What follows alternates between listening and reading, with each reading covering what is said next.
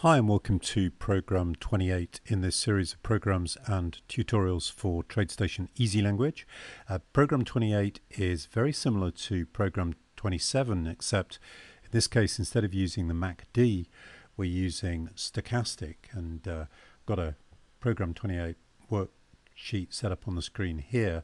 Um, incidentally if you're not familiar with our website then please go to markplex.com and uh, you'll see some more information about program 28 there. Just simply click on the programs and uh, you'll see program 28 at the bottom of the list.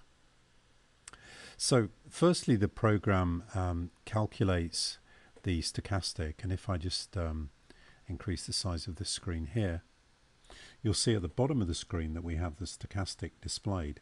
And uh, if we just mouse over there we'll see that the uh, the red line represents the O fast K, the white line the O fast D, and the green the O slow D.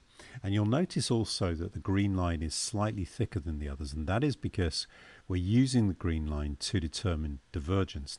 So there is a user input that uh, enables you to determine which of these three lines you use to calculate divergence.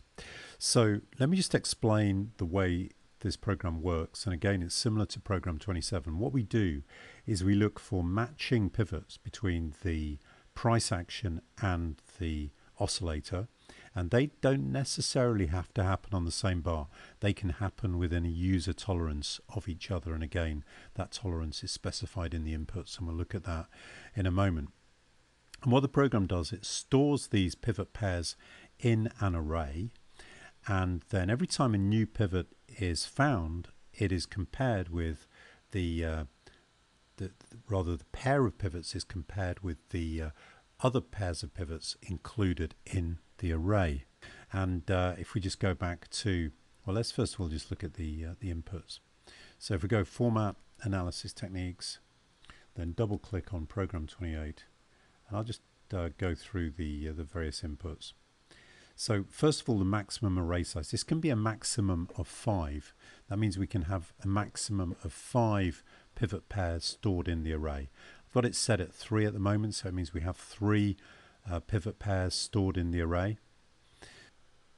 Which stock determines whether we're using FastK, um, FastD or SlowD, 3 being SlowD, 1 being FastK and uh, 2 being FastD the uh, price H and L and C these are inputs into the stochastic as is stochastic length and then smoothing length 1 2 and uh, also the smoothing type. 1 being the original type and 2 being the TradeStation legacy formula. Uh, lower color and upper color these determine the color that the lines are drawn on the price chart if a divergence occurs left strength and right strength, these determine how many bars to the left and right respectively there are in pivots either on price or on the stochastic. Bar tolerance, this is the input that determines how many bars apart the, uh, the pivot in price and pivot in the stochastic can occur. So um, if it's three, it means there's going to be less than three bars separating them. And then oversold and overbought, simply draw the horizontal lines on the chart. So they're the inputs. Um, as I mentioned, this will can also be applied to RadarScreen and scanner. And uh, if we just arrange all on the screen, you'll see that uh, I've got it applied to RadarScreen here, and I've also linked RadarScreen with the chart. And uh, also it can be used with the scanner.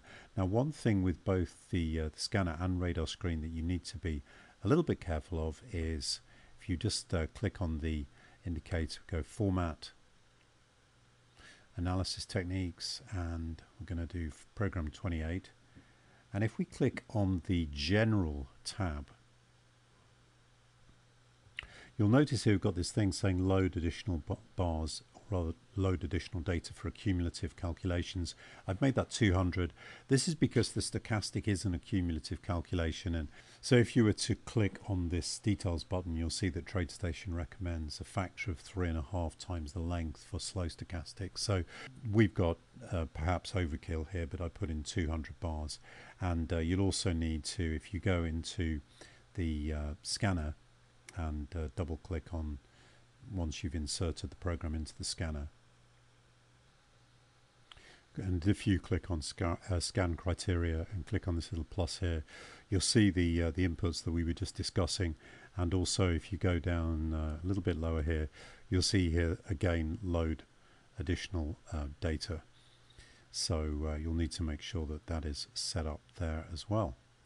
Anyway, uh, I hope you might find this program useful. If you're interested in how you go about applying it in the scanner, then you might want to just review the video for program 27, which is a different program but very similar.